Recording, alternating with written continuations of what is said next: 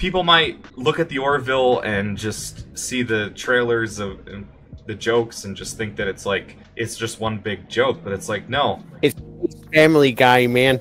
it's your Family Guy. It's Star Trek made by the Family Guy. All right, men, this is a dangerous mission, and it's likely one of us will be killed. The landing party will consist of myself, Mr. Spock, Dr. McCoy, and Ensign Ricky. Ah, crap.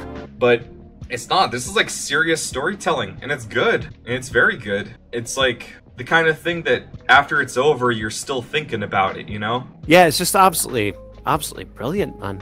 I, I, I don't know what else to say. I don't. I don't either. Like we've praised it for the past like hour. Yeah, I would recommend it. If y'all haven't seen the Orville, give it a chance. But watch it from the beginning because that's really the best way to experience it. And also to say that a lot of sort of well, when I say classic Star Trek, I mean well older Trek going up through um, Enterprise.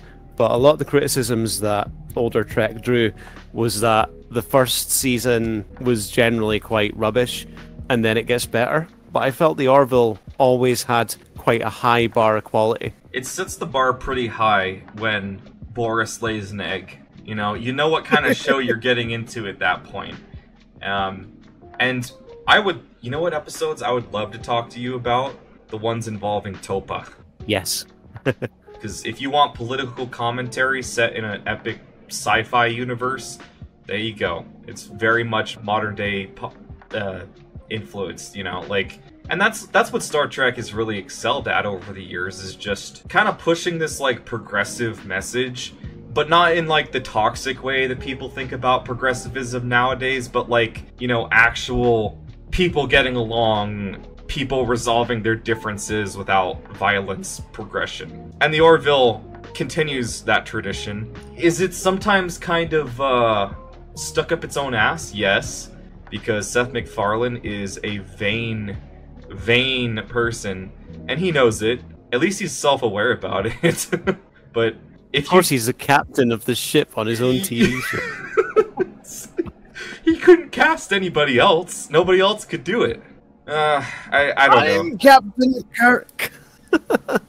it's a passion project all the way through though it, like despite how vain the man is he knows how to act he can sing and he knows how to entertain people and i, I think that it's just uh, it's a very well-rounded series and i'd love to talk about it some more with you sometime The only thing that I find quite difficult is actually like when he's sitting there in the captain's chair. I still keep imagining him as being Brian Griffin. oh my god right Wow, a song named after a girl. There aren't a million of those already. Name 20. Rosanna, Roxanne, Michelle, Allison, Sarah, Angie, Brandy, Mandy, Gloria, Cecilia, Maggie May, Jessica, Nancy, Barbara Ann, Billie Jean, Layla, Lola, Polly, Helena, Jenny from the block.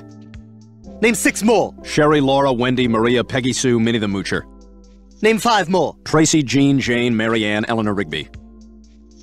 Go fuck yourself. like his face is so distinct that sometimes i'm just like i can't take him seriously but he's classically trained to the point where he can act his way through things you know like it's not as distracting as as you might think it would be Das ist still.